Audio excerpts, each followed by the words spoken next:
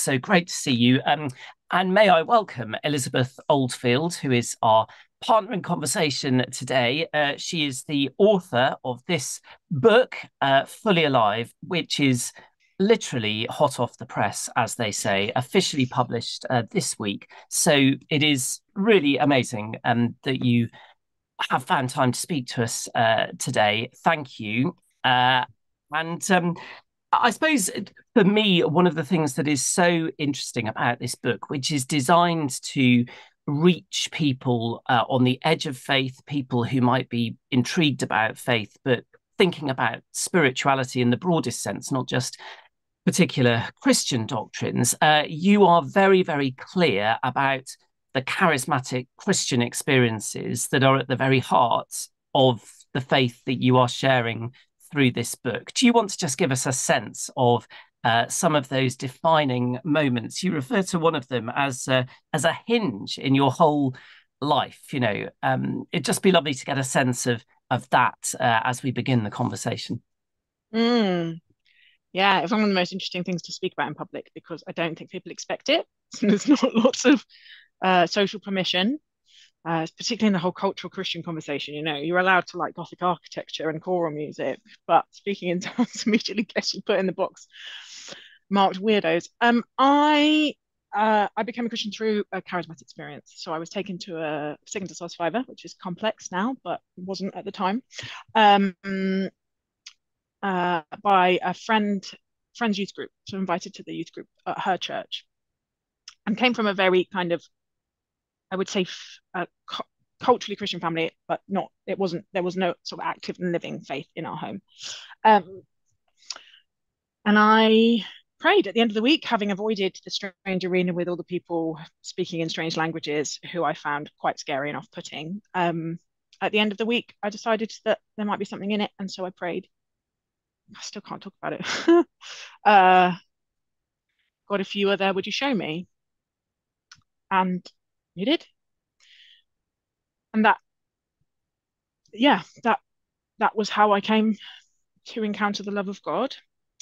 And um, I had a major faith crisis about 10 years later and deconstructed, as the jargon is now. Um, and then found my way back and had quite a kind of austere uh,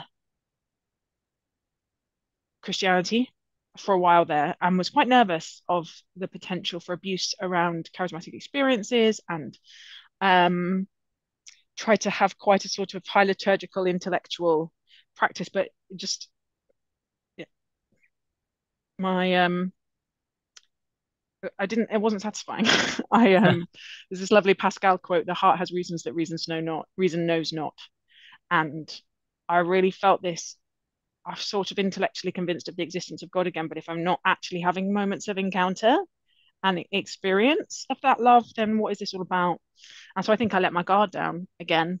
And now it's, you know, this Sunday I was dancing around at the back of the church and having a cry on the floor, praying in tongues. So it's very much um, a big part of my life again. And of course, as you say, for many of the people, particularly in the kind of culture that you inhabit of you know the religion think tank Theos that you were director of for 10 years uh, these conversations in um, you know in, in very intelligent places shall we say uh, about faith. Um, that place of of the charismatic um, is not expected is it? As you say it's it's okay perhaps if you enjoy choral evensong but um, speaking in tongues a bit less yeah, it was really funny. I did a project at the RSA, which is this big sort of policy wonk institution on the Strand. Its tagline at the time was 21st Century Enlightenment. And they had got some money from Templeton to have a think about spirituality, but they were doing it in a very RSA 21st Century Enlightenment way, where everyone was a psychologist or a psychiatrist or a sociologist, and everyone was talking about these things as very distanced terms. Um, it really brings out this mischievous part of me. So I gave a talk about praying in tongues, and you could see the energy in the room shift and suddenly people were actually interested because there was some skin in the game right and someone was prepared to be a weirdo and then a bunch of us went to the pubs pub afterwards and had these very very human intense real conversations and lots of people i'm still friends with so i think actually people are very intrigued, and maybe more so now, partly related to the psychedelic renaissance, which is interesting. But um, yeah, certainly in intellectual circles, it is not high social cachet.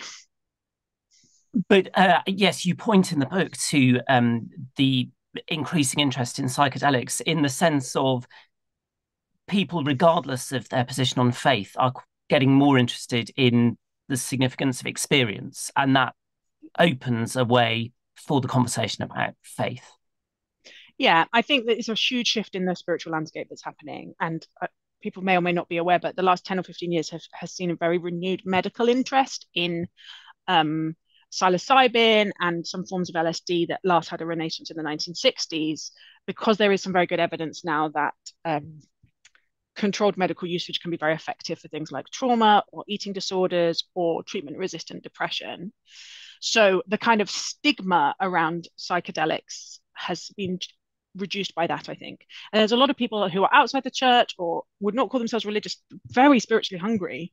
And a lot of them think that, um, you know, magic mushrooms essentially is a way for them to connect spiritually. And people are having these very intense experiences. And lots of them are then saying, I can't be an atheist, but I don't know what to do next. Um, it's very interesting times in that whole area. But it, it's a way in because people then say, well, I had this intense experience I can't explain. They're much more interested and curious about the intense experiences that I have and the frame around that and what that how that changes things and what it means. But I have found it very fruitful um missionally, frankly, but also just in conversations and relationship building.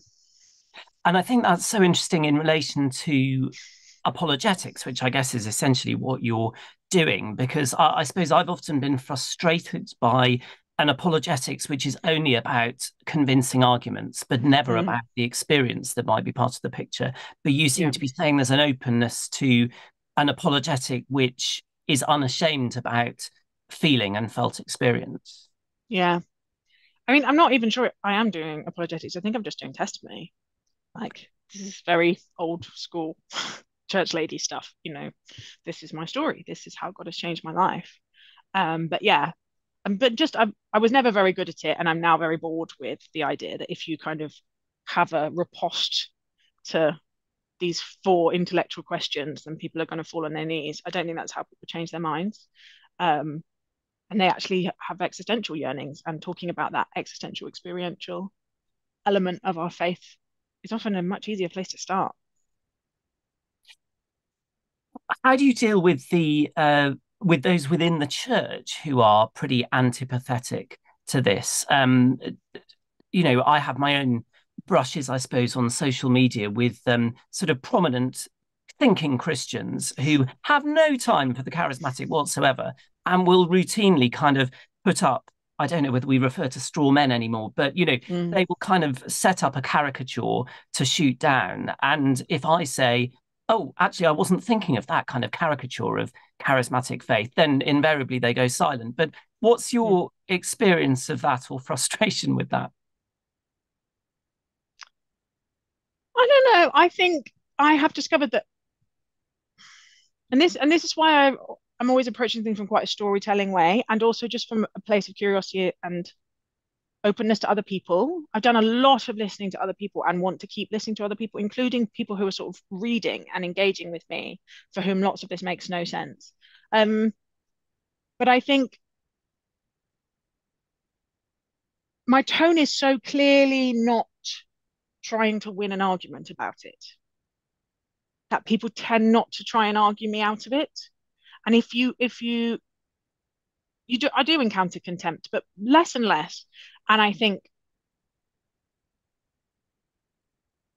the, the wings of the church that really look down on it, bless them, they're it's okay, you know, we all have our different preferences. The kind of harumphing and the superiority can be, you know, tiresome at times.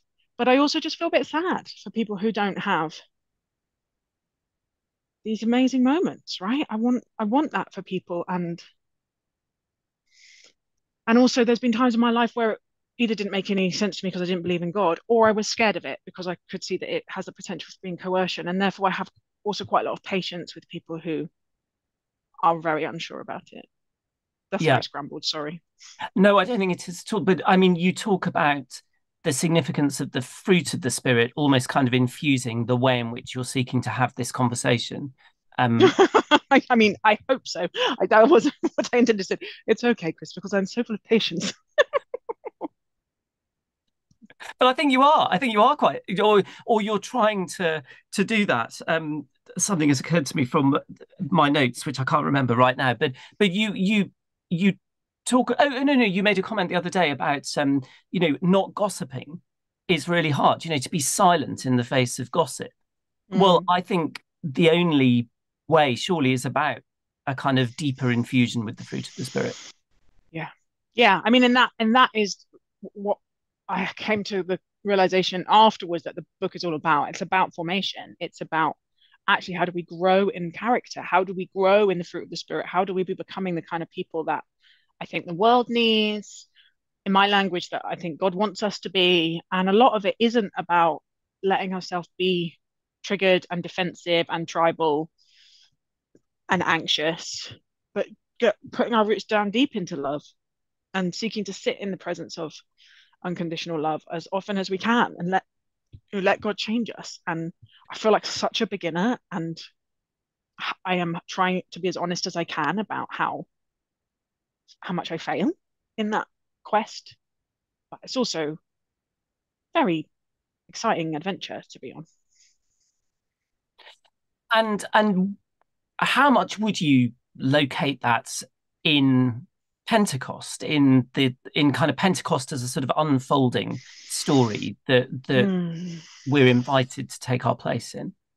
Yeah. Very much I think there are the, there's these this twin twin birthdays of the church. I can't remember if it was you who was talking about this the other day, but the cross and the resurrection and the way they demonstrate a God who has solidarity with the suffering and the way that love is stronger than death are just so foundational for my psychological robustness, you know. um, but that without the sense that the spirit is with me, that actually the divine lives in me and is empowering me to learn to love my neighbor because it does not come naturally to me, is everything. And if it was just an intellectual project or kind of ethical framework, I'm not sure I would still be here. I need, I need, I need that relationship. I need that sense of presence, and I need that sense that there is more than we can see, and the way these encounters with the Holy Spirit sort of quiet my analytical brain for a little bit and just remind me about the deep, deep truths. That is what sustains me. Yeah. Um, just a reminder to people if there is something that, um, well, for example, that Elizabeth has said, and uh, you're irritated by the question I follow up with, and you have a better one of your own, please put it in the chat uh, or if there's a, a, particular area you'd like to go into. Um, uh, one of the um, things that is intriguing, I suppose, as part of the story of the book is that you chose to leave this role as director of Theos. Um, do you want to tell us a little bit of the the story of that decision and where the writing of the book kind of related to that and what that expresses? Yeah, I mean, that was a very clear sense of guidance. And that doesn't happen that regularly in my life. It's happened maybe twice otherwise. But it was a very clear, every time I prayed, a sense that God was saying it's time to stop. And it's time to stop and rest, which was really challenging um, because I really felt like I wasn't supposed to go straight into another job. I wasn't supposed to have a plan, uh, which was, you know, challenging financially. Um, and so uh yeah i eventually with some kicking and screaming was obedient to that because i have learned enough to know that ignoring things like that is not a good idea. Um but it i knew that probably writing was part of what needed to happen yet but it was only when i had had some rest and also because i had led through a pandemic and had two babies and was sort of borderline burnt out i think um, it was only when I surrendered all of that professional identity and all of that you know, desire to be impressive or to be in control of my future or to know what was next. um, that it sort of became clear what it was I was supposed to be writing. And it also has become clear that it would have been a very difficult book to write while still director of Theos, although I'm still very associated and make the podcast with Theos and love Theos dearly. But as the figurehead, there's a certain diplomacy required.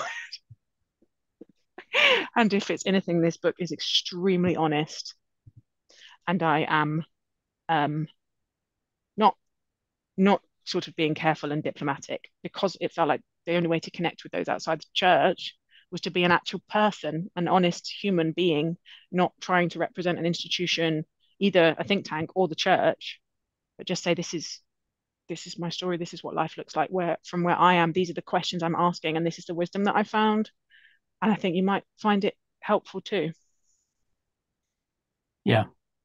But that's a a, a big step. Uh, I mean, pride is one of the issues that you talk about in great depth within the book. I mean, you you use the the, the traditional deadly sins as a kind of framing uh, of the different chapters of the book, but pride has a particular place. I mean, was that because there was so much that you had to dismantle in terms of your own identity to be able to write what you wanted? Yeah. Yeah, I think so. My definition of sin is disconnection, is and fully aliveness is relationships, connection with our own soul and with other people and with the created world and with God. And pride is the thing that pulls us back into ourselves away from that connection. And we want to be invulnerable. We don't want to need anyone. We want to be impressive. Um, and there's, you know, it's a lifelong process letting God heal what I am where I am proud and individualistic. But the allowing myself to look bad, allowing myself to be clearly unsure about lots of things, um, allowing myself probably to be under- misunderstood by people, including Christians, because of the strange vocational thing I'm trying to do. Um, it was all part of the soul work that I had to do to be brave enough to get but were you also inspired by a kind of frustration about how effectively Christians do often manage to have these conversations? Because I suppose I can't. I feel I've lost count of the number of times I've I've read uh, books which say they are, you know, that this is a this is an apologetic, or even if it doesn't use the word apologetic, you know, this is a book for a non-Christian to read and come to faith. And I just read it and think I just I cannot imagine any of my atheist former colleagues or whatever getting beyond the foreword of this book, you know, and and there, there seems to be a frustration in for me at least in terms of how effective often the church is about speaking beyond its own confines. Yeah. Oh, definitely. Uh I mean I spend I spend most of my time not with Christians and sort of happily so. And uh that sounds terrible. I just mean, you know, that is our, that is my husband and mine's both preference and calling. And, you know, worked at the BBC for five years and then have been in Westminster. And the thread in my life has been listening to these stories of culture and wanting to connect with them. And it does feel like the church is very often quite inward focused, not really listening to what's going on in the culture and scared unnecessarily in a crouch. And one of the things I wanted to model while I was leading Theos was confident non-defensiveness. That we can be re- we can be really secure in who we are and in our sense of self and our identity and the gifts that we have received because it's not really about us. But it's beautiful. we don't need to get tribal or snippy or scared or anxious because that's that's just a sign that our roots aren't deep enough, right? That we have not we have not received the gifts that are ours. Um, and when you are confident and non-defensive, you can get into great conversations. you know, you can listen really deeply to other people and then have earned the right to be listened to. Um, but if you actually don't know what other people are thinking or their frames of reference or the language they're using or the questions that you that they are asking, then everything you say will just bounce off.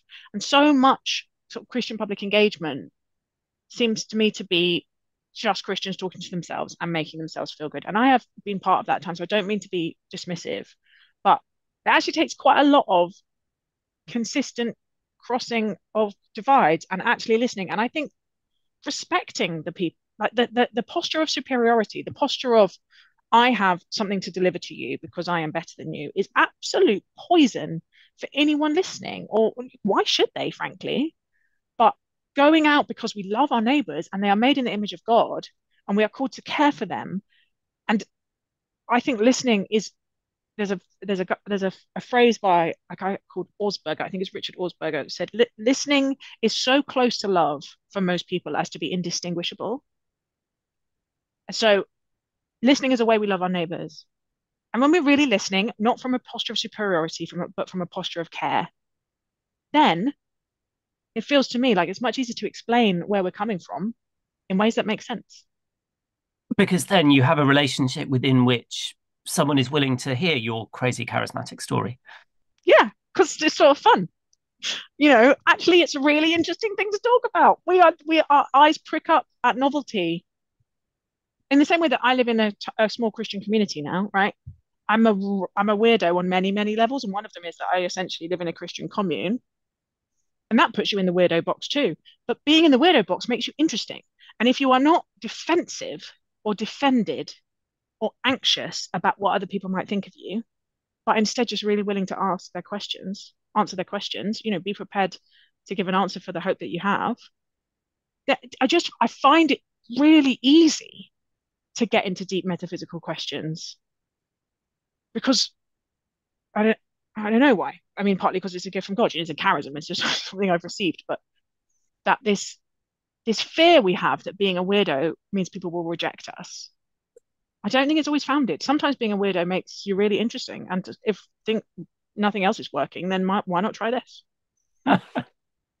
um, one of the things that I thought was so fascinating was um, when you talked about uh, going into hospital to be sort of tested. Um, just tell this story because it, it it's remarkable. This sort of connection between the physical manifestations that some experience in relation mm. to the mm.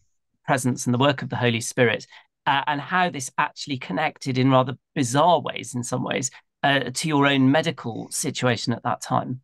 Yeah, I'm sort of hoping someone's going to read that section and help me explain it. But I um I have a still slightly unclear what it is autoimmune um condition that gives me very weak joints, weak wrists.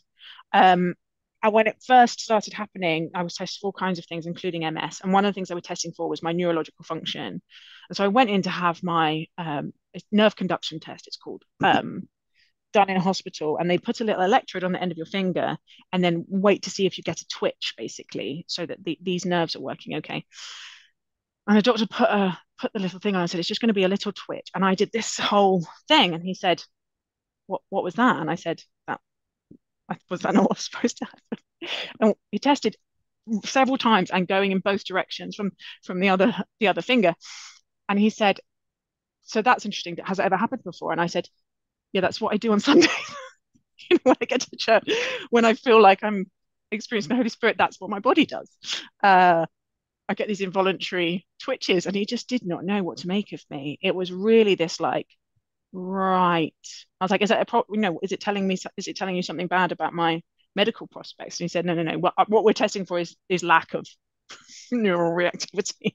You you do, you have the opposite of that, and I still have it now. I went to a, a, a, a Christian conference in the States, but it was quite a um, it was quite a sort of reformed, uh, restrained hymns, you know, uh, everyone standing in rows kind of conference. And I was going through a stage of feeling very sensitized to the spirit. And whenever someone was talking that and some and something someone said something that felt very profound or uh, uh it wasn't that sort of a, a cognitive thing happened like off, some someone would say something and my body would do the thing and afterwards someone came up to me and said i hope you don't mind me asking but do, do you have a form of tourette's i was like I don't think so. I think that's just what my body does. experiences of the Holy Spirit. So I'm very relaxed about it now. But, but you see, I I found this really fascinating because um you know I, I've shared with some of the people on this call previously that for me, uh, my legs shake uh, in a mm. similar situation, and um, and and you know that happened for the first time, the very first time that I really welcomed the presence of the Spirit, and I was responding to a prophetic word, and it was all you know the the, the kind of boundaries I thought that I directed. I was just you know engaging with the possibility of of lowering them if this was really God, because I didn't want mm. to, to miss out. Um, but I wonder whether even those of us who would own the label charismatic are often reluctant to name some of that and to share the stories of some of that. So we we like to talk about revitalized churches or you know churches that are alive, but we don't necessarily always go into the granular detail of what this actually means in terms of even individual bodies responding to what we believe is the presence of God. Yeah.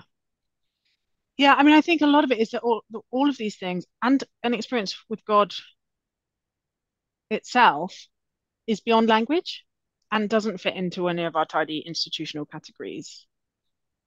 And there are also risks of instrumentalizing it, right? It's not, it shouldn't be something you can plot on a graph of targets. It's not something within our control, right? The wind blows where it chooses. Um, but I do think that being being more relaxed and more honest about it as part of our practice, as part of our faith, can be really helpful. And I really, I really, I got my, my closest I got to really cross in the book is when I was writing about the fact that it's always been looked down on and primarily associated with the poor and people of color and women. And there's sort of there's no accident that therefore it, it is of low social status, both in wider society and some parts of the church. And so part of me has this like this occasionally comes out this mis- mischievous, almost political resistance to those kind of stories of wanting to put it in the places of power and wanting to challenge the narratives of what of you know what kind of reasonable rational self-contained people are allowed in our public conversations and say no jesus was a weeper. There is a space for emotion. There is a space for our bodies. There is a space for what is beyond this very thin and narrow definition of reason. And that's maybe where life is you know? Stop trying to put it in a box. Yeah. Perhaps that's part of the irony of why you know the spirit arrived in such pucker places as Chorleywood and Kensington, you know, to kind of allowed. push through um, that sense. And uh, yeah, I don't know. Um, well, um, it's almost half past one. So if you do have particular questions that you'd like to put to Elizabeth, please do contribute uh, in the chat. And if you don't, uh, I will carry on the conversation, um, which I'm enjoying uh, enormously. Um, I was going to ask you about these two real sort of crucibles for how you live this out, your the community life that you've already mentioned, but also your engagement with with the life of a local church. Is there anything more first on community uh, that you want to mention? I suppose particularly in terms of how it relates to these insights about the spirit. Uh, you know, is it the spirit which is really helping you through the arguments about the dishwasher or uh, mm. who's doing which chore, are the kinds of things that you mention in the book? Yeah. I mean, I hope so. it's very um it's very unromantic living in community. It's it's you know, it is a place where ideal ideals go to die because you're confronted with the reality of your own, I would say, sin, uh, and other people's up close. Um, but I do think that you know the the promise of the beloved community, this strange and beautiful vision that Jesus leaves us with is that we will be able to love each other. We will be able to love each other up close. We will be able to bear with each other. We will be able to celebrate when each other celebrate and weep when each other weeps. Um, and that the Spirit is sent to lead us into all truth and to help us. So, yeah, it's not that I kind of pause mid tense house night conversation about the dishwasher and ask for a prophetic word. It's not as direct as that. But um, my hope is that the Spirit is always at work in us. And certainly these, again, things that sound so nice and fluffy, but are actually quite robust requirements if we're going to love each other, like patience, like gentleness, like self control.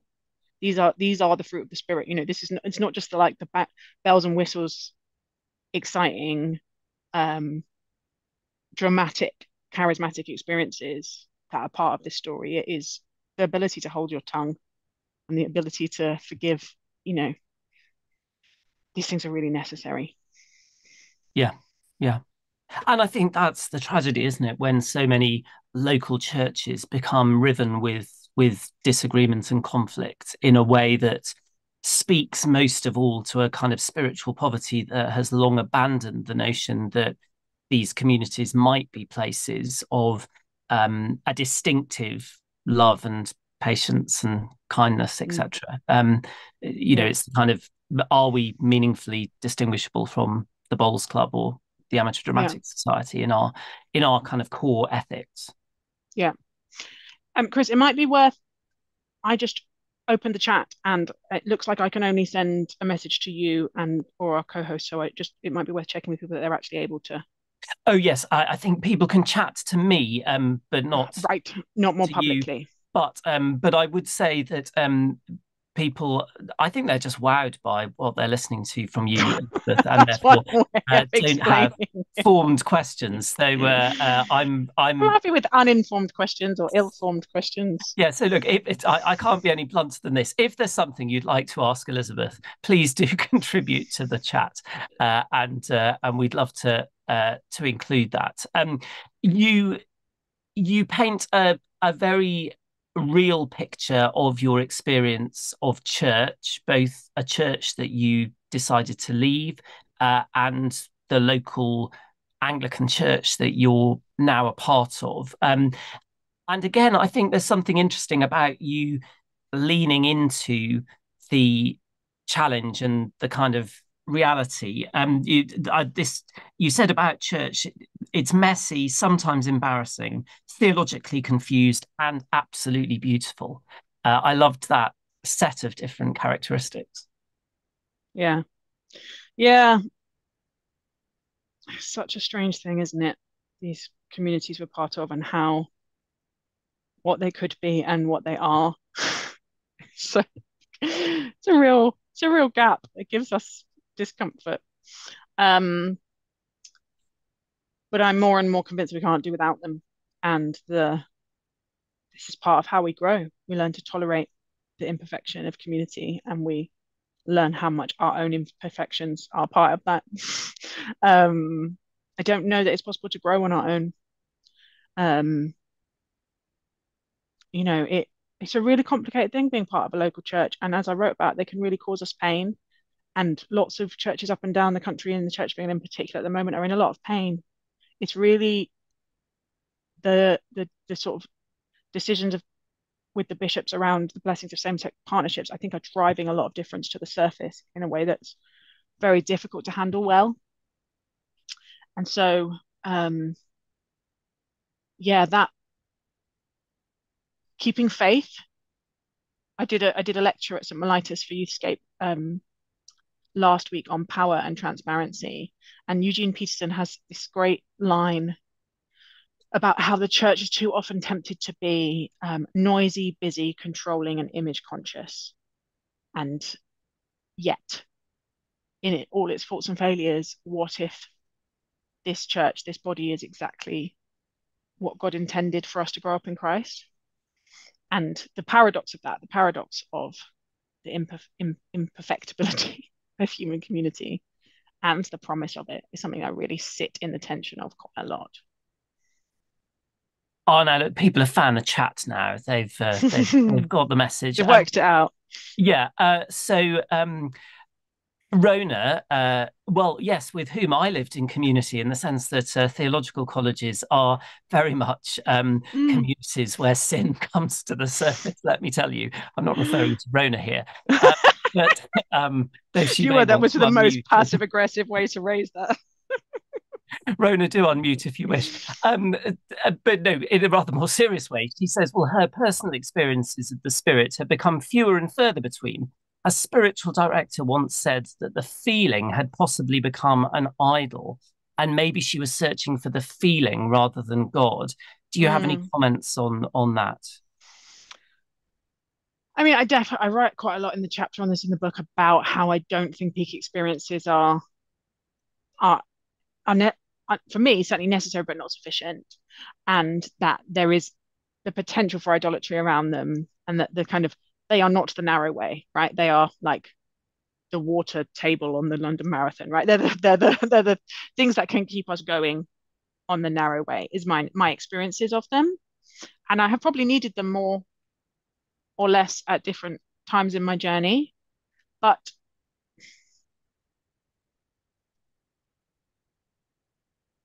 however we talk, however we think about it, whether it's some sort of dramatic outward expression or something very still and quiet and interior. So I also do something called centering prayer. I don't do it enough, but that's much more from the contemplative wing of the church. These very quiet, these very still moments of turning my attention towards God. But the actual moment of a sense of encounter is exactly the same as it is in charismatic worship.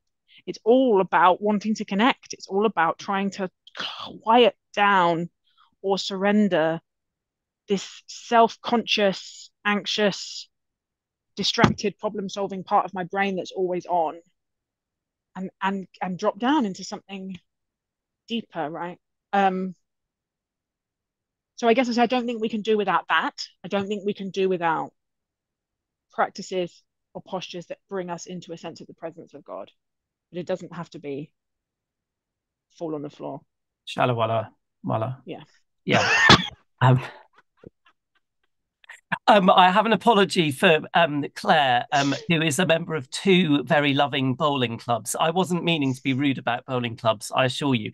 Um, it's more just that question of, um, you know, how do how does the church have something which is positively more than the very most loving experience of a of a bowling club or uh, yeah, yeah, so sorry just to to apologize claire. Um, um, Rod asks, um, you know, Trinity Sunday is now um, approaching. Um, uh, what would you suggest for for engaging with people who are much more confident on focusing on the Father or the Son, less so mm. about the Spirit? You know, do you have a particular insight for how to begin this conversation with Christians who are less uh, enthused, shall we say, about about the third person of the Trinity? The honest answer is no, because I'm not a church leader or experienced in talking to Christians about these things. And probably on this call, there is a lot of wisdom. So, my suggestion is other people on the call should send their suggestions to Chris and he can share them, or you could even open up the chat. Um, I'm sure there are lots of brilliant ways, but I would just be making it up at this stage. No, well, that's very honest. Um, and you've said your particular passion is is the conversations beyond the church uh, rather than within it. Um, what about the um, inspiration of mystics, ancient and modern? Uh, Alan mm. asks, is that a kind of rich seam for you? Yeah, very much so. I have read two novels about Julian of Norwich recently. Um, yeah, I love this weirdo. This weirdo word's coming up a lot, isn't it? But the lives, the lives that I am drawn to are often the people who are brave enough to be strange, and the mystics embody that so deeply, as do the prophets. You know, this this sense of just going along with the status quo, which is some, you know, necessary and some people's theory of change and all of those kind of things. But if God is actually real and loves us, then strangeness is un- inevitable. And pursuing these encounters, I sometimes think I'm actually a real hedonist. It, it's a real like, I don't take, don't get off my face on drugs, but I really do want to get off my face Holy Spirit. You know, I really do want to experience the love of God as regularly as I can. Um, and the mystics are so brilliant at reminding us that this is not a modern phenomenon, right? Just because it currently comes with projector screens and too many smoke machines. That this is something that has happened down the centuries to Christians who sought it. And you've even been surprised by the place of the ancient practices of the church, even you know liturgical practices um, mm. within that journey, haven't you? Oh yeah, I, I our, our sort of community is very monastic inspired, and we use the Celtic daily prayer, morning prayer, and Compline regularly. And yeah, these these more meditative, contemplative practices are very much part of my life and my belief about how I change. I just don't also want to ab- abandon the charismatic for whatever reason. It feels like the story is usually charismatic or evangelical becomes liberal and contemplative.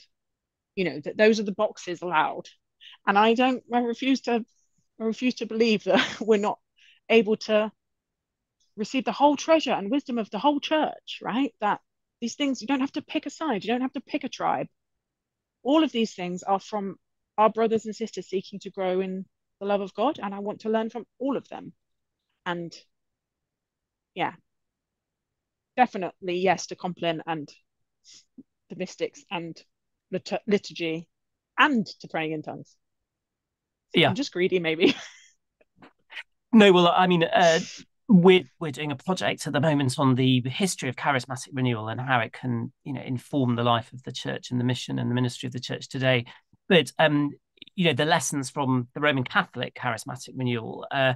I think, are fascinating in that um, because uh, there is a real insistence there to say, you know, this is not about uh, creating a new uh, religious order within the life of the church, for example. This is about uh, a renewing work across the whole of the church, uh, mm. and it's so important not to lose sight of that. And I think perhaps one of the particular challenges within the Church of England is that a renewal has often ended up being associated overwhelmingly with larger urban churches, which are probably a bit more light to liturgy, uh, mm. and B, that we've had this kind of emerging new church tradition called charismatic evangelical.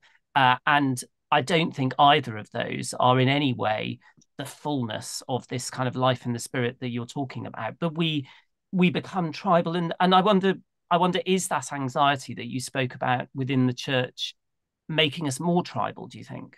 Is that something we're seeing in wider society as well? People are retreating into their particular groups. Yes, very much so. And as you know, I really go hard after it in the chapter on wrath because I'm very concerned that we as Christians don't give up on the ministry of reconciliation. And our my sense is that the non-violent tradition, which is almost entirely based on the words of Jesus, is this extraordinarily transformative set of practices to be people who can cross tribes and love our enemies and pray for the people who persecute us. And we don't practice it, we don't see it as part of our formation or our discipleship. And so we allow ourselves to get swept into this fight or flight response where everyone looks like an enemy and our identities are very unstable and we're very easily triggered into defensiveness. And my cry of my heart is that we would model something different and we would not need to be with people that look like us or agree with us or remind us of ourselves, which is this deep seated human tendency that Jesus was very straightforward about. But we would be people who can build communities across differences and resist the temptation to contempt and respond to contempt or dismissiveness or even outright attack with love and turn the other cheek and say, I'm sorry you feel that.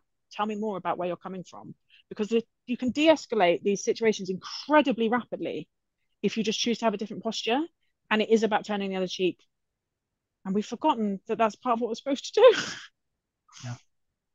and i suppose we live in an age where technology encourages us seduces us in exactly the opposite direction yeah oh yeah yeah it's you know all all societies have struggled with tribalism and polarization but john yates in his book fractured makes this really great case that people like me syndrome, which is this deep preference for people like ourselves. It's universal across cultures, across centuries, but most healthy societies building guards against it. Ours has done the opposite. It's removed all of the common institutions and the common stories and the points of contact and has instead amplified the worst stories about each other and siloed us into smaller and smaller demographic slices. And so it begins to feel righteous to hate other people. It begins to feel morally pure to be full of contempt for people who disagree with us. It's just something's gone very wrong there. Yeah. And to go back to this question of experience within the Christian life, Mark asks, well, is it the case that some kind of experience mediated by the Spirit should be part of the everyday life of all Christians? Um, i.e., a relationship with Jesus can't simply be an intellectual assent to certain truths. Um, I mean, is that essentially the drum that you're banging? I mean, I'd hesitate to use the should word because I just don't feel qualified to be telling other people how their Christian life should go.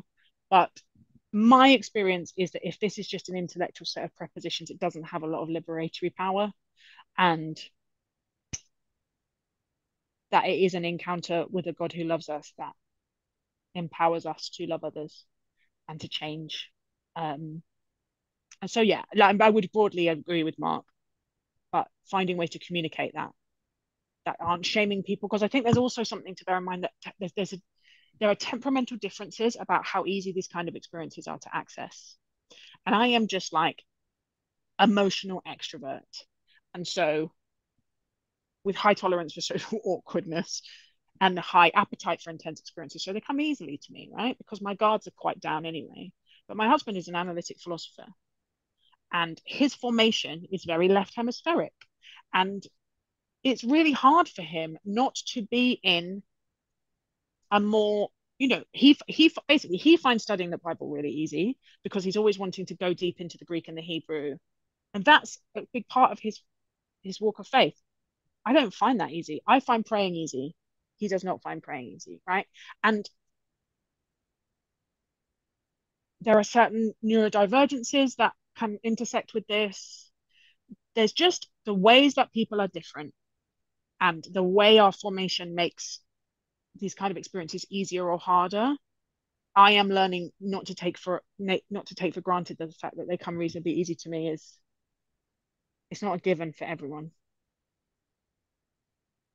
Um possibly the last thing I wanted to ask you was you used this phrase spiritual core strength, which uh, you know, a kind of the Christian faith is Pilates for the soul, you know, and um, I loved that idea. Um, I mean, is is part of what you're saying. I realise you're very careful not to speak judgment over any other Christian or the church or whatever, but are you detecting a need in yourself at least, and perhaps in us to to become more intentional about how we develop this spiritual core strength so that we don't just have a kind of flabby spirituality that doesn't really give us what Pilates, I believe, would give those who practice it it's obviously tongue in cheek. Um, yeah, I mean, I think it's fair to say that all of all of us, all all people who are seeking to be disciples of Jesus, need to put our roots down deep into love. And I do think we live in turbulent and anxiety-producing times, and if we let ourselves, we will be formed by those times and by those stories. And I am also formed by those times. Part of writing the book, frankly, is to dig deep into my own formation, where I feel anxious about the future and the way society is going and my own life, because I I'm trying to be formed by a book which says do not be afraid a lot. And so I'm very um the reason the book is green and there's green everywhere in my life is the my life verses that my spiritual director and I come back to a lot are um the, the images of the trees planted by living water that come up in Psalms and in Jeremiah and slightly differently in Revelation. And that is what I hope and pray for myself and I guess for the wider church that we would have really deep roots down into love so we would be steady and not afraid when the storms come or the droughts come or the floods come, but able to create shade for other people and be a place of be a place of um, safety and welcome and uh, refuge for other people. And if our roots aren't deep, then we won't be that. We'll just be like whipped around and fall over, or start attacking each other, which is you know easy to see. Thank you. I can't make the tree metaphor work with that, except now I'm seeing like ants going into battle with each other. I don't know whether that's better or worse than the uh, Anglican Army on Doctor Who, which I haven't read watched yet, but I've uh, oh, no.